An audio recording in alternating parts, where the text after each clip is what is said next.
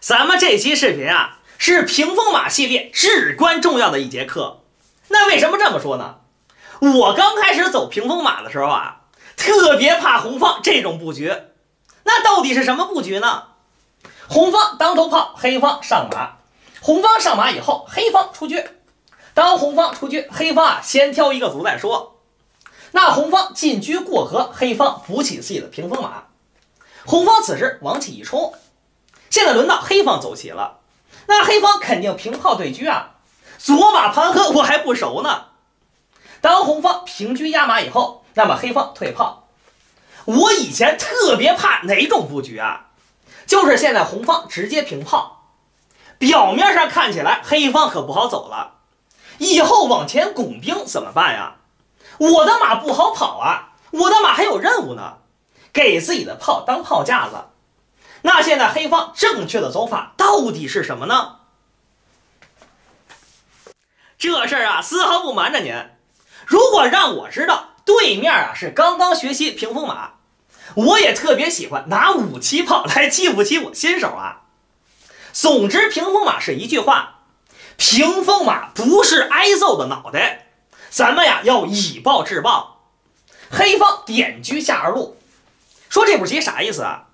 如果现在你敢往前冲，那我就平车把你的八路马给压住。那很显然红方是不干了呀。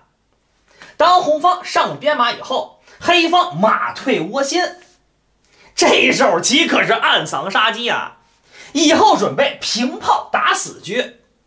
现在肯定有人不服啊，说你平炮打死车，人家炮击中卒不是跑路了吗？咱们做一个简单的假设啊，比如说红方往前一撞。那么黑方平炮打车，当你炮击中卒的一瞬间，我黑方完全可以不理你，选择一脚上马。那问题可发生了，一边马踩着炮，一边炮打着车，而且你这个车还不能吃马。当你把车闪开的一瞬间，那很显然中炮就白吃白喝了。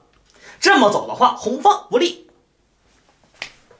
如果红方可以想到这儿啊，肯定就不干了。我让你平炮打我，那就来不及了呀！赶紧炮击中卒李将军，解救自己的三路车啊！那黑方往上一踩，红方再一杀，黑方平中炮。很显然，中炮的劲儿啊太大了，你红方不管肯定不行。现在这个中车啊动换不了，比如说你随便走一招棋吧。那么黑方上马先手踩车，当你红方退车以后，黑方可以平中炮，双炮打你的车，就是逮住蛤蟆钻出尿来呀，反正你也闪不开，你闪开我打老将了呀。你无论中间怎么补齐，那大车上来丢一个肯定受不了。咱们书接前文呀，既然说你这个车是有危险的，那中间肯定得填子儿啊。新手特别容易填一什么呀？填一个中炮，相当的常见呀。你有中炮，我也有中炮，咱俩谁怕谁呀？但是您可别忘了，左炮右马是一对儿，左马右炮也是一对儿啊。你这个马谁管呀？黑方平车一抠，三路马相当的痛苦啊。你不想丢，只能跳窝心了。那么黑方顺势往前一敲。以后眼看着人家沉底，一点办法都没有。你不能平车跟我呀，否则我打中间你更受不了。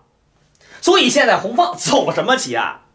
比如说踏踏实实选择一步出车，那么黑方平车，眼看着我就要沉底，你还是不能吃啊，还是炮阵无子，所以没辙，只能把马跳出来再说。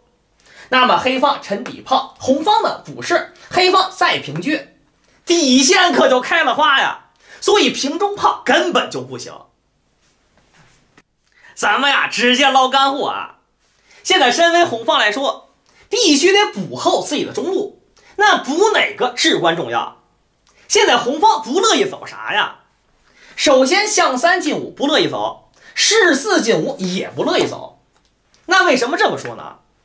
棋盘的左侧，红方是空空如也。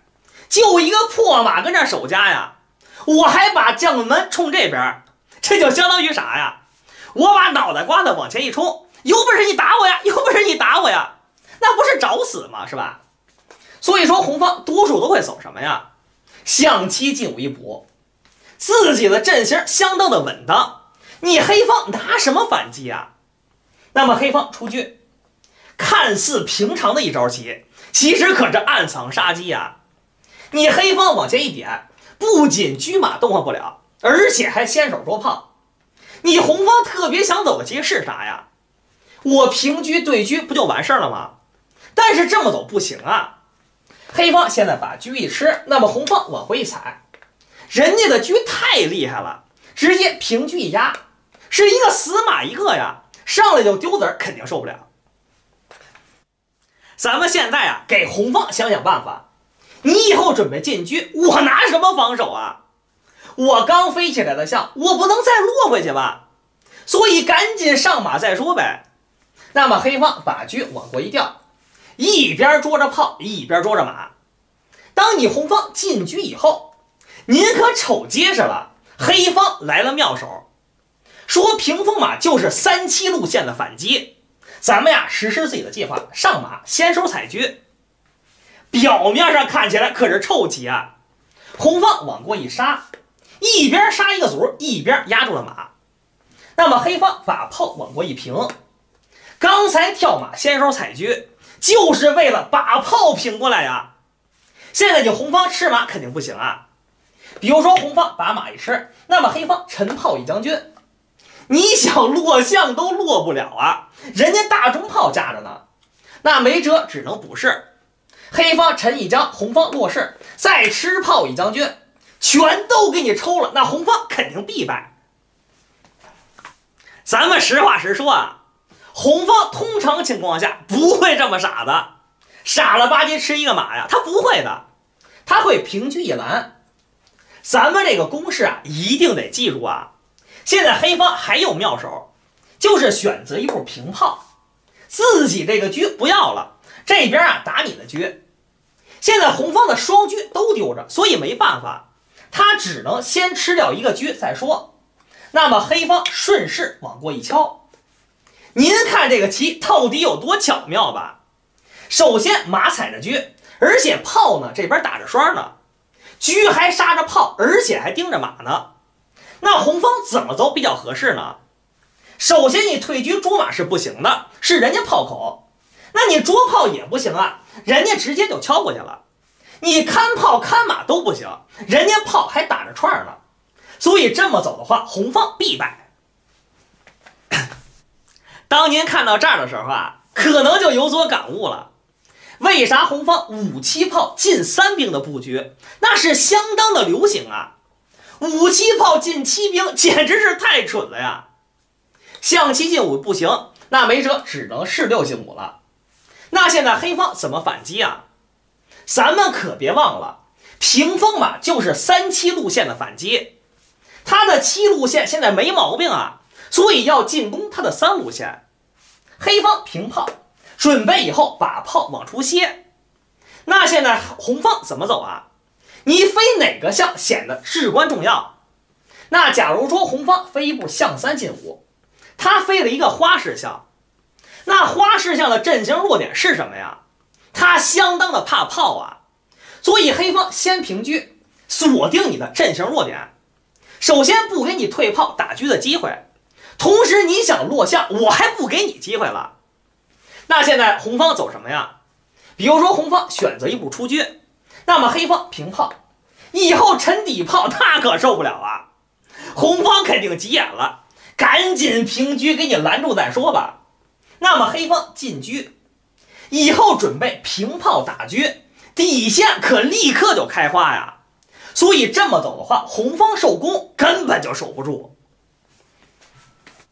咱们现在啊，再给红方想想，那时候就没有活路了吗？眼看着黑方往前撞卒，或者往前敲，那我都受不了啊。那红方没辙，只能象棋进五一飞。那身为黑方来说，如何才可以反击呢？黑方啊，先敲过去再说。首先吃掉一个兵，同时压住了红马。我的炮还瞄着底象，何乐而不为啊？那红方赶紧出车，黑方平炮，这手平炮至关重要，以后准备进炮 c 向腰，而正好你的车啊是闪不开的，窝心马起到至关重要的作用。那你平车不能拦怎么办呀？让你眼看着点象腰子肯定受不了。所以现在红方万般无奈，只能选择知势一拦再说呗。那么黑方退车一吃，你这马不能白给我吃啊！所以您这个士还得落回去。